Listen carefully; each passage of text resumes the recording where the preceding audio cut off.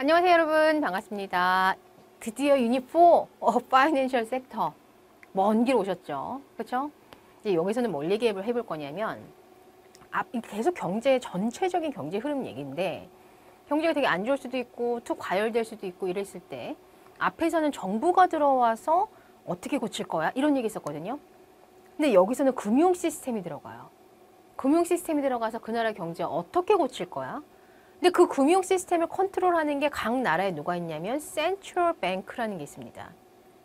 중앙은행. 우리나라 한국은행. 그럼 이들이 어떻게 그 나라의 경제의 문제점을 고치려고 노력하는지를 배울 거예요. 그러니까 여기서는 뭐야? 금융에 대한 얘기를 좀 해보겠다라는 거죠. 쌤의 전공 분야입니다. 완전 대빵좋고 재밌죠? 조금 이제 알아봅시다. 상식에 대해서 한번 알아볼게요. Financial State, Financial Assets에 대해서 알아보는데 여러분 우리 반드랑 스탁 여러분 들어봤죠? 근데 스탁은 잘 알아. 주식. 반드는 쌤이 앞에서 얘기해 줬었는데 채권.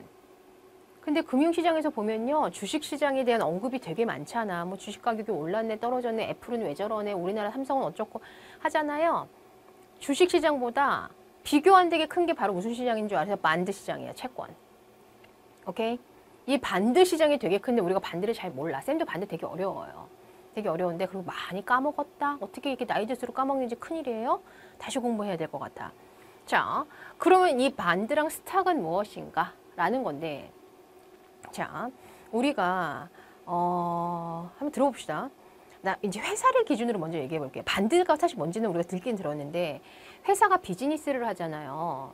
그럼 내 돈을 갖고 비즈니스를 하지만 일정 부분은 사실 일정 부분 아니야. 상당한 부분은 나의 credit rating, 나의 신용도를 바탕으로 해서 남의 돈을 조달해서 financing해서 비즈니스 하는 게 기본입니다. 그렇죠? 그래 내 돈으로 다 하는 거 아니에요. 삼성이 내 돈으로 다 할 것 같아? 아니에요. 그럼 이렇게 financing을 한다는 건 남의 돈을 조달한다는 건데 하, 우리 친구들 이 알아들을까? 상식적으로 들어봐. 이 자체가 시험에 나오진 않아요. 돈을 financing하는 방법은 두 가지가 있어요. 하나는 뭐냐면 direct financing. 또 하나는 뭐냐면 indirect financing. 그러니까 direct financing은 뭐냐면 내가 투자자들한테 삼성전자라는 이름을 내걸고 저한테 돈 좀 financing 빌려주세요. 아니면 저한테 돈 좀 투자해 주세요가 direct financing이야. 삼성전자가 직접 투자자들이나 돈을 빌려주는 사람들한테. 자, indirect financing은 뭐냐면 삼성전자가 돈을 빌리는데 은행을 통해서 빌리는 게 indirect financing이에요. 대출 받는 거. 이게 왜 indirect예요? 삼성전자가 은행에서 돈 빌리는 거는 은행 돈이 아니잖아. 거기 은행에 deposit한 saver들의 돈이잖아. 그 돈을 은행이라는 intermediary 중간자가 옆에 있, 안에 껴서 걔한테 내가 간접, 간접적으로 통해서 돈을 빌리는 거지. 그래서 은행에서 바로 이용하는 거는 indirect financing. 삼성전자가 자기 이름을 내걸고 자기가 직접 투자자들이랑 contact해서 하는 건 뭡니까? direct financing. 그럼 이 direct financing을 하는 방법은 두 가지예요. 하나가 뭐야? bond를 issue하거나 두 번째는 뭡니까? stock을 issue하는 겁니다. 하, 똑똑해진다. 봐봐. 삼성전자가 물론 이런 거 할 때 삼성전자가 증권사를 끼고 합니다. 그들이 이제 중간에서 그 프로세스를 다 해주죠. 근데 삼성전자 이름으로 한다니까. 삼성전자가 한 예를 들어서 100만 불이 필요한 거야. 100만 불. 100만 불 돈도 아니 10억, 10억, 10억. 그렇죠? 환율 치면 14억 정도, 13억 정도 될까? 자, 이만큼 필요한데 이걸 어떻게 하냐면은 삼성전자가 자기가 스탁을 아, 반드를 이슈합니다. 나 삼성전자인데 이거 한 장으로 다 하기 뭐하니까 100장 할게요. 그러면 지금 어떻게 동그라미 두 개 지워 만 불씩 지금 100장 이슈하면 반드를 지금 100장 이슈했죠. 그럼 반드가 채권이야 여러분. 채권. 아 반드가 채권이 아니라 그 체크야 체크. 그 수표야 수표. 요즘 뭐 실물도 많이 없긴 하지만 여기다가 나 만 불만 빌려줘. 그럼 나 이자 5% 줄게. 1년 동안. 이게 반드라고 했었죠. 이 반드 이슈는 가버먼트도 할 수 있고 회사들도 할 수 있어요. 즉 반드를 이슈해서 삼성전자가 이 반드를 이슈해 놓은 거를 투자자들이 가서 사는 거야. 그럼 투자자가 가서 만 불을 주고 이 반드를 사죠. 그럼 삼성전자는 5% 이자 주는 거예요. 그게 반드야. 그럼 삼성전자는 이 뱅킹 뱅크라는 중간자를 끼지 않고 자신이 직접 반드를 이슈해서 투자자한테 반드를 주고 투자자는 그 반드를 사는 대가로 나한테 만 불을 주는 거죠. 이게 파이낸싱이죠. 근데 bond는 어떤 obligation, 의무가 있냐면 삼성전자는 at maturity, 만기에 이 만불과 플러스 interest를 어떻게 커스 저기 뭐야 나 나한테 돈 빌려준 사람한테 줘야 되는 거예요. 그래서 bond는 어떤 의미라 그랬냐면요 채무예요 채무. 아 어렵다 채무 채무가 뭐예요 debt 빚이라는 거지. 그래서 얘가 debt예요. 근데 삼성전자가 망하면 채권이라고 만드는 애들이 우리도 우리 친구들이 어 스탁보다는 세이프하네요 이 정도 알거든요. 근데 삼성전자 망하면 이거 못 받습니다. 반드도 100% 세이프한 게 아닙니다. 뭐 미국의 가버먼트가 이슈한 반드 정도 세이프하다라고 얘기할 수 있을까? 미국 가버먼트가 설마 망할까? 근데 우리가 설마를 너무 많이 봤죠. 설마, 그렇죠? 삼성전자 망하면 이것도 못 받아요. 어찌가 됐건 반드는 회사가 파이낸싱 하는 방법인데 이거는 회사가 랜드 저기 바로잉 한 거야. 바로잉. 이게 나중에 갚아야 되는 거고. 반면에 삼성전자가 스탁을 이슈하는데 여러분 스탁은 어떻게 이슈하는 거냐면 삼성전자 회사의 가치를 평가합니다. 그러니까 처음에 이제 스탁을 이슈할 때 처음에 네, 주식을 처음에 발행할 때 삼성전자 뭐 이미 뭐 오래됐지만 삼성전자의 몸에 몸 삼성전자 회사의 value를 측정을 했더니 혹 어마무지 크겠죠. 나 잘 모르겠어. 간단하게 500만 불이라고 할게요. 그럼 이거를 딱 어, 삼성전자의 회사의 value가 지금 500만 불인데 우리 stock 만장 issue하자 만장. 그러면 동그라미 4개 지우고 그러면은 이 500불짜리 맞지? 500불짜리 stock이 우리나라는 액면가 5천 원인가 아마 그럴걸요? 아 몰라 돼. 자, 오, 자 500불짜리 stock 만 장을 issue하는 거야. 근데 그걸 투자자들이 사는 겁니다. 주식시장 가서. 맞죠? 근데 이렇게 처음에 issue했을 때 투자자가 만약에 쌤이 가서 삼성전자 주식을 10장을 산 거야. 그럼 10장 사면 쌤이 5천불 냈겠지, 삼성전자한테. 그러니까 삼성전자 몸의 가치에서 stock의 그 발행수를 나, 이렇게 divide by 하는 거예요. 그 stock 하나의 value야. 물론 현실적으로 더 복잡합니다. 이 value도 바뀌고. anyway. 근데 쌤이 이거 샀지? 어야, 너 5천불 줬죠? 그거 삼성전자한테 가는 거야. 근데 stock이라는 거는 투자의 개념입니다. 근데 삼성전자가 비즈니스 너무 잘 돼서 profit이 높아지면 쌤의 이 500불이었던 stock의 value가 올라가죠. 700불, 800불. 근데 삼성전자가 비즈니스가 잘 안 돼서 어, 업황이 안 좋아. 그럼 이거 다시 떨어집니다. 400불, 300불. 그렇다고 해서 쌤이 삼성전자한테 야, 나 500불에 한 주당 500불에 샀는데 그거 나 보존해줘. 지금 300불이잖아. 200불 다시 줘. 돼, 안 돼? 안 되죠. stock은 투자의 개념이고요. bond는 뭐냐면 내가 빌려줬다는 개념. 빌린 건 다시 받아야지. 그런 right 있는 거고. stock은 뭡니까? 이거는 내가 투자의 개념이기 때문에 투자라는 게 뭔지 아세요? 그 회사의 리스크를 같이 책임지는 거야. 하, 무섭죠. 쌤이 지금 삼성전자의 리스크를 같이 책임지고 있답니다. 그래도 요즘 최근에 조금 올라가지고 마이너스 18%인가 그렇던디. 혹 stock은 투자의 개념이고 그 대가로 뭐를 받아? ownership을 받는 거야. 그러니까 내가 오너가 되니까 그 회사의 리스크를 같이 take하는 거고 그 회사가 잘 되면 그 benefit을 같이 share하는 게 바로 stock입니다. 아시겠죠? 그러면 삼성이 이렇게 direct financing으로 directly 투자자한테 돈을 빌릴 수도 있고 그게 bond를 issue한 거고 directly 투자자들한테 투자를 받을 수도 있는 거예요. 그게 stock인 거야. 아하, 똑똑해졌다. 그쵸? 가버먼트는 반드는 이슈하지만 스탁을 이슈하진 않죠. 정부가 무슨 투자 무슨 투자 그거 아니죠. 가버먼트는 반드만 합니다. 근데 여기에서 우리가 기본적으로 얘기하는 파이낸셜 에셋은 반드랑 스탁으로 나뉘어 아셔야 돼. 이게 우리들의 투자 자산인 거죠. 그래서 쌤은 지금 뭐를 잘 보고 있냐면 반드를 잘 보고 있어요. 반드의 수익률이 지금 되게 많이 올라가 있거든. 그런 얘기도 나중에 해. 나중에. 잘 봐. 아, 이게 뭔 얘기인가? 한번 읽어보세요. 읽어보는데 쌤은 그냥 바로, 바로 말로 해볼게요. 내가 여러분한테 물어본다. 여러분, 제가 지금 100불 드릴까요? 아니면 1년 후에 100불 드릴까요? 그럼 또 착한 애들은 지금 100불 받기 난처하니까 1년 후에 줘도 괜찮대. 뭔 소리야? 지금 우리 경제 배우는 이 마당에 뭔 다시 여러분 내가 100불 지금 드릴까 아니면 1년 후에 드릴까? 안 주겠죠? 나 1년 후에 안 주고 도망가면 어떡할 거야? 그렇죠? 사실 그 개념은 아니지만 당연히 지금 주세요가 맞습니다. 그거 해볼게요. 자, 이거 봐볼게요. 우선. 근데 지금 이 사람이 있는데 우리 계산하기 쉽게 지금 쌤이 지금 100불로 바꾼 겁니다. 그쵸? 나 여기다가 그냥 동시에 설명해 볼게. 지금이 라인 나오고요. 1년 후야. 내가 지금 여러분한테 여러분 내가 100불 지금 줄까 아니면 1년 후에 줄까? 라고 얘기했지. 그 여러분이 너무 똑똑해. 저 지금 주세요. 이렇게 한 거야. 그래 그래. 그게 맞는 거야 사실은. 근데 누군가는 어, 샤이가 괜찮아요. 저는 1년 후에 주세요. 라고 하면 만약에 여러분 지금 1년 후에 100불 받았잖아. 그것의 현재 가치를 따져보자는 얘기예요. 근데 여러분이 아주 야무지게 저 지금 주세요. 이렇게 했다? 맞아? 근데 지금 현재 interest rate이 5%라고 어스을 해볼게요. 그럼 여러분 지금 이거 100불 받아서 가만히 있겠어? 우리 지금 경제 배웠는데? 아니요. 투자하겠죠. 투자했더니 투자 수익이 5%라는 거야. 1년 후에 얼마가 됩니까?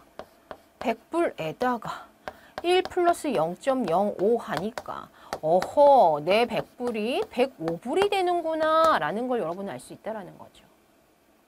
그래서 이거를 우리는 뭐라고 하냐면 100불의 future value라고 얘기할 수 있어요. 지금 그게 저거 아닙니까? 여러분이 지금 100불을 은행에 지금 right now 디파짓을 했는데 이자가 지금 몇 퍼센트냐면 5%래요. 그럼 1년에 너 얼마 버니? 어, 나 105불 벌어. 그 타임라인을 그려놓으세요. 그렇죠? 이게 현명한 거지. 내가 지금 100불 받아도 투자 수익 105불. 근데 이렇게 한 거야. 아니 아니. 저는요 그냥 1년 후에 주셔도 돼요. 너무 착하지. 그렇게 착할 필요 없는데. 그러면 이 100불이 지금 내가 갖고 있다면 가치가 얼마입니까? 뭔 말이야? 지금 현재의 얼마가 1년 후에 100불이랑 똑같단 얘기, 똑같냐는 얘기예요. 다시 그럼 현재 X달러가 여기에다가 1 플러스 0.05 한 개 1년 후에 100불 아닙니까? 맞죠? 그러면 1년 후에 지금 내가 인터레스트를 포함해서 100불 내가 1년 후에 여러분한테 돈 주면 여러분 이렇게 되는 거야. 그럼 이거 X달러 얼마 나오는지 아세요? 이거 계산하면 95불 점 몇 나올 거예요. 됐어? 이거 어떻게 계산한 거야? 지금 안 돼? 잠깐 봐봐. 그러면은 100불 여기다 쓸게. 100불에다가 X달러 한 개 1 플러스 0.05잖아. 그럼 X달러가 지금 얼마가 나옵니까? 넘겨. 100불에다가 오버 1 플러스 0.05 되는 거잖아. 맞죠? 그럼 어쨌든 100불을 1.0으로 나누니까 지금 이 X달러는 100불보다 못하다고요. 이게 딱 95불은 아니고요. 95불 몇 점 나올 거예요. 그러면 지금 내가 95불이 1년 후에 100불이 된다라는 건 쌤이 만약에 지금 여러분한테 100불 줬으면 이 돈이 1년 후에 지금 105불이 되는 거잖아. 근데 1년 후에 줘도 괜찮아요, 쌤. 이렇게 했더니 헉 지금 따져보니 이 100불의 present value라고 얘기합니다. 현재 가치를 따진 거야, 100불. present value가 당연히 100불보다 못하지. 왜 이 사이에 우린 투자를 할 수 있거든. 즉 돈에는 뭐가 있습니까? 아, 시간에 대한 value가 있다라는 거. 내가 지금 받아서 투자할 수 있다라는 거죠. 그럼 현재 100불이 1년 후에 105불이 되고 1년 후에 100불을 지금으로 따지면 100불이 안 되는 거지. 그럼 내가 95불 받아서 5% 이자 받아야 1년 후에 100불이 되는 거죠. 아, 이게 돈에는 뭐가 있다? time value라는 게 있구나. 만약에 이게 1년이 아니고 2년이 되고 3년이 되잖아요? 맞아? 그럼 어떻게 하면 됩니까? 이 interest에 그냥 여기 스퀘어하고 이렇게 3, 3년이면 3, 4년이면 4 이렇게 하시면 돼요. 뭐 이건 몰라도 돼요. 아, 돈에는 이런 time value가 있고 미래의 100불을 지금으로 당겨오니 100불만큼 안 되죠. 그래서 자 이건 어떻게 계산할 거야?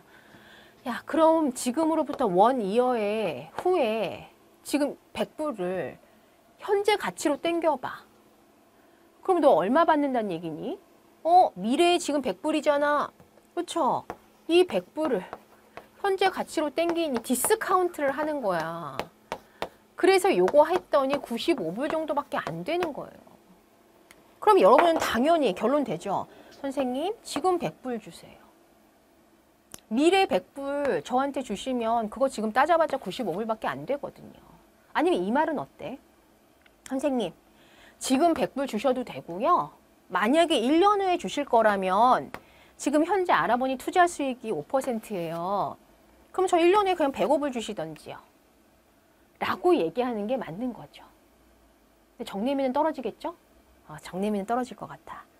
그쵸? 이해돼 안 돼? 아, 이런 투자 수익이 있기 때문에 돈에는 뭐야? time value가 있다. 조금 헷갈리죠? 쌤 말 바꿀 테니까 잘 들어보세요. 지금 여러분한테 내가 여기저기서 가, 그냥 간간히 bond라는 얘기를 좀 했어요. 반드. 그렇죠?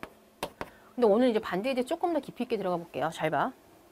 아, bond는 돈을 빌리는 행위라고. 근데 원래 현실적으로 메커니즘은 어떻게 돌아가냐면 바이든 대통령이 여러분한테 그러는 거죠. 야, 너 돈 좀 있냐? 이렇게 하는 거지. 물론 individual이 가지 않는다고 했어. 경매한다고 했어요. 나 내가 있잖아. 너한테 그래 지금 따져보니까 투자 수익이 5%더라. 뭐야? 투자 수익이 5%인데 내가 이 interest rate 포함해서 1년 후에 100불 줄게. 나 지금 돈 좀 빌려줘. 이렇게 얘기합니다. bond는 이렇게 돌아가요. 그러니까 bond의 face value라고 하는데 그거를 interest로 해서 포함한 거로 얘기해요. 왜냐하면 아, 100억을 돌려주는 거 너무 짜투리 힘들잖아요. 그래서 다시 어떻게 하냐면 bond는 너 지금 돈 좀 있니? 내가 interest 포함해서 1년 후에 100불 돌려줄게. 이런 식으로 trading을 합니다. 그럼 여러분 얼마 빌려주면 돼요? 100불 빌려주면 돼요? 아니죠. interest 포함해서 10, 100불이니까 95불만 빌려줘도 되는 거야. 맞죠? 그래서 우리가 이 빌려주는 이 X달러를 뭐라고도 얘기하냐면 bond price라고도 얘기합니다. 아셔야 돼. 다시 그러면 자 이 아래 건 지울게요. bond는 이렇게 되는구나. 그러면 지금 bond price는 1년 후에 이자 포함해서 100불이잖아. 그거 over 1 플러스 0.05 interest rate이 지금 여기에 들어갔죠. 뭐야? 이게 bond price고 여러분은 그럼 지금 바이든한테 95불만 빌려주면 돼요.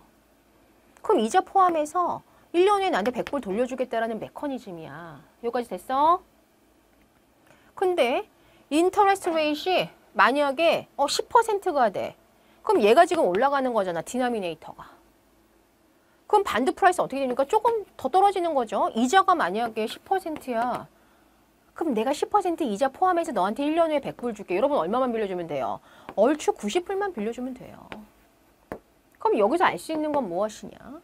아, interest rate이랑 bond price는 서로 무슨 관계다? inverse 관계다라는 걸 아시면 됩니다. 알겠어요? 근데 나는 지금 이거를 어떤 시장을 기준으로 얘기했냐면 하, 여러분 사실 이런 것까지 몰라도 되는데 질문이 나와서 primary market. 이 뭐냐면 지금 bond issue한 거잖아 바이든 대통령이. 그러니까 bond를 issue하는 시장이 있어요. 그게 발행 시장이라고 얘기해. 나는 발행 시장에서의 메커니즘을 얘기해 준 겁니다 근데 이 bond는 누가 누가 살 수 있냐면 everyone이 다 살 수 있어요 나도 미국의 government bond에 투자할 수 있습니다 쌤이 어떤 투자를 했냐면 최근에 여기서 돈 좀 벌었어요. 우리 신랑이랑 여기서 좀 벌었습니다. 아무래도 interest rate이 올라갈 것 같은 거야. 왜? 인플레이션이 너무 심하니까. 그럼 피셔 이퀘이전에서 우리가 인플레이션 올라가면 interest rate이 올라가지. 맞아? 우리 신랑이랑 쌤이, 쌤이랑 신랑이 당시 미국의 interest rate이 0.5%대부터 투자했던 것 같아요. 오케이? 그래서 rate이 안 올라갈 수가 없는 거야. 그래가지고 그럼 rate이 올라가면 반드 가격 어떻게 됩니까? 떨어지죠? 그래서 반드 가격이 떨어지기 전에 미리 팔아냈어요. 하, 어렵지. 이런 투자가 있어. 미리 팔아놨어. 그럼 떨어질수록 나는 이득 보는 거야. 그럼 bond price가 떨어질수록 이득이라는 건 interest이 올라갈수록 이득인 거야. 그래서 쌤이 맨날 아침마다 일어나서 interest 봤다고요. 근데 direction이 맞았어. 그래서 여기서 조금 이득 봤습니다. 하, 어렵죠. bond가 어려워. 여기서 여러분 알아야 되는 건 interest rate랑 bond price는 inverse 관계다. 근데 학교에 가면 선생님이 이렇게 설명하지 않고 또 다르게 설명하실 수도 있어요. 그 선생님은 어떤 시장을 본 거냐면 bond는 이렇게 bond를 issue하는 시장이 있고 쌤처럼 individual인데 지금 bond를 사고 팔았잖아. 이렇게 bond를 사고 파는 어떤 시장이냐면 secondary. market이라는 게 있습니다. 이건 한국말로 뭐라고 하냐면 유통시장이라고 얘기를 해요. 그러니까 정부가 issue한 bond를 아니면 삼성전자가 issue한 bond를 이미 bond를 갖고 있어 사람들이. 라는 건 그들은 이미 삼성전자랑 정부한테 돈을 빌려줬다는 얘기지. 이해됐어? 그래서 그들의 bond를 갖고 있는데 bond를 갖고 있는 사람들끼리 사고 팔아요. bond를 갖고 있는 사람들끼리. 그걸 우리 뭐라고 한다? secondary market이라고 합니다. 거기서도 이 relationship이 성립해요. 거기서도. 거기서는 어떻게 성립하냐면 아니 내가 지금 갖고 있는 bond는 내가 삼성전자한테 돈 빌려줬는데 이거는 1년 전에 이슈된 반드야. 반드마다 머추어리티가 다 다릅니다. 그래서 그때는 나한테 bond가 interest rate, interest rate를 예를 들어서 어, 5% 준다고 했었어 삼성께 삼성전자가 근데 지금 봤더니 헐 interest rate 올라가지고 지금 8%랍니다. 그럼 여러분이 기존에 삼성전자한테 빌려줬던 이 bond는 attractive 해요 안 해요? 안 하죠. 그래서 여러분이 이미 갖고 있는 이 bond는 bond 가격이 유통시장에서 어떻게 돼? 떨어지는 거야. 왜 지금 내가 빌려주면 8% 받는데 지금 어떻게 돼? 5%잖아. 지금 interest rate이 올라가니까 반드 가격이 그래서 떨어진다는 게 여기서도 성립한다는 얘기예요. 학교 선생님도 이렇게 얘기할 수 있어. GPA 하는 친구들. 그래서 반드 시장은 크게 두 가지로 나뉘는데 primary market이던 secondary market이던 무조건 bond는 interest rate가 서로 무슨 방향이다. inverse 관계구나. 아, 써니쌤이 여기다 투자했었구나. 코로나 때. 그쵸? 쌤이 채권 투자한 거, 채권 투자. 어렵습니다. 채권 투자. 그쵸? 음, 어려운데 잘하면 큰 돈 벌 수 있어요. 여기서는. 그쵸? 더 공부해야 돼. 더. 하, 여러분 이런 거 공부하려고 경제 공부하는 거야. 어? 그쵸? 꿈과 희망을 가자. 보세요. 나 지금 이런 얘기 한 겁니다. 아, 돈에는 뭡니까? time value라는 게 있어요. time value에 있어서 present value도 계산해보고 future value 계산해보고 이런 거 하나 안 중요해. 그냥 예, 예의상 써놓은 거에 나왔길래. 아, 그렇구나. 그럼 여기서 우리가 지금 알 수 있는 건 뭡니까? 현재 내가 돈을 받았는데 투자 수익에 대해서 미래의 가치가 된다는 거지. 그럼 그거는 present value보다 미래 가치는 더 올라가야 된다는 거죠. 일반적인 케이스. 물론 마이너스 금리가 있는 나라들도 있어요. 뭐 일본이나 유럽 같은 경우 있었습니다. 그런 abnormal한 케이스 말고 일반적인 케이스 얘기하는 거야. 그럼 여기서 interest rate이랑 bond price는 어떻다? inverse 관계구나. 라는 겁니다. 자자 고생했어. 요 얘기 한번 해보려고 했고 이것만 이건 우리 앞에서 했죠. 어디서 유닛2에서 했습니다 여러분. 그렇죠? 유닛2에서 이 시험이 나오는 학교도 상당히 있고 유닛4에서 이게 또 나오는 경우도 있어. 그렇죠? 그래서 이거 잠깐만 얘기하고 이번 레슨은 마무리할게요. 봐봐. 잠깐 remind. 그래서 은행에서 여러분한테 고객님 어, 저희한테 1억 deposit 하셨어요? 저 7% 이자 드릴게요. 이렇게 한 거야. 7% 이자. deposit 하셨어요? 여러분 투자한 거죠? 7% 이자 드릴게요. 리얼이야, 노미널이야? 리얼이야, 노미널이야? 그렇지. 그냥 은행에서 얘기한 거는 무조건 nominal이죠. 그쵸? 빨리 집에 가서 뭐 확인해 봤어? 인플레이션 확인해 봤죠. 나 지금 미국 사람이야. 이런 젠장. 인플레이션이 8.2%야. 장난해? real interest rate이 지금 몇 퍼센트입니까? 마이너스 1.2%입니다. 지금 미국의 central bank는 여전히 미국의 real interest rate이 마이너스예요. 그래서 얘를 플러스로 전환시킨다고 얘기하고 있어요. 그럼 여러분 이거 이 말이 뭐야? 은행에 돈 넣어봤자 손해라는 거예요. 나의 purchasing power가 지금 1.2% 떨어졌다는 얘기인데 이런 얘기였었고 borrowing 하는 입장도 똑같죠. 고객님 저희한테 지금 론아웃 하셨죠? 대출. 저희가 그럼 고객님한테 7% 이자 차지할 거예요. 똑같아. 근데 가서 확인해 보니까 인플레이션이 헐 8.2% 사실 이렇게는 안 합니다. 하긴 뭐 옛날 게 있을 수 있으니까 8.2%래요. 예를 들어. 그러면 이럴 때는 미친 듯이 가서 돈 빌려야 되는 겁니다. 왜? 지금 오히려 마이너스 1.2니까 빌린 입장에서는 좋은 거죠. 내가 만불 빌렸는데 1년 후에 내 만불의 가치가 8.2%만큼 떨어지는데 그쵸? 나한테 이자는 7%밖에 안 가져가잖아. 그럼 내가 갚는 돈의 가치가 더 많이 떨어진 거잖아. 그럼 빌린 입장에서는 되게 좋은 거죠. 바로인 코스트가 오히려 마이너스라는 건 나한테 플러스라는 얘기예요. 헷갈려? 그럼 이렇게 어렵게 얘기하지 마. 자, 그러면은 예를 들어서 고기 은행이 나한테 7% 이자 차지했는데 인플레이션이 5%입니다. 맞죠? 그 인플레이션 5%면 내 돈 가치가 5% 떨어지니 5%만큼 떨어진 돈 가치를 갖고 있는 만불로 갚은 거잖아. 그럼 내가 진짜 받은 건 몇 프로입니까? 2%죠. 괜찮아요. nominal wage지. 자, 사장님이 나의 월급 10% 올려준대. 그럼 마냥 좋아하면 바보죠? 빨리 집에 가서 뭐 하긴 했어? 인플레이션 7%래요. 그럼 나 진짜 웨이지 몇 퍼센트 오른 거야? 3%. 이런 얘기 했었던 거 기억나고. 그 나라에 RGDP가 어, 5% 증가했어. 근데 노미널 GDP가 8%래요. 그 나라 뭐 발생했습니까? 뭐 발생했어? 인플레이션. 이건 너무 중요하죠, 여러분. 이거 다. RGDP가 5% 발생 증가했는데 인플레이션이 8%래. 그럼 그 나라 인플레이션 3% 발생한 거죠. 그리고 우리가 진짜 우리나라의 생산 능력을 얘기해 주는 건 RGDP라고 얘기했었던 거지. 근데 이 피셔 equation은 조금 어렵게 나오면요. 이 GDP의 표현을 막 다른 거로 대체해 버려. GDP랑 똑같은 게 아웃풋이죠. spending 똑같은 거 circular flow에서 누군가가 쓴 건 누군가 income이고 그게 바로 그 나라에서 만들어낸 거지. 이런 거 다 똑같은 표현인데 마치 다른 표현이냐 여러분한테 막 주면서 헷갈리게 한단 말이에요. 그런 건 조금 어려워. 어찌가 됐건 문제에서 real이거나 nominal이구나 거나 인플레이션 nominal은 real 플러스 인플레이션 이 세 가지의 표현 중에 두 가지라도 mention이 만약에 이렇게 있잖아요. 무조건 피셔 아니야 라고 생각하시고 문제 푸시면 돼요. 아시겠죠? macro는 이런 약간 힌트를 좀 잡을 수 있어야 됩니다. 오케이. 잘했어. 자, 2번. 유닛 4에서 뭐 간단하게 intro를 좀 해봤고요. 다음 시간부터 본격적으로 한번 해볼게요. 다음 시간에 뵐게요.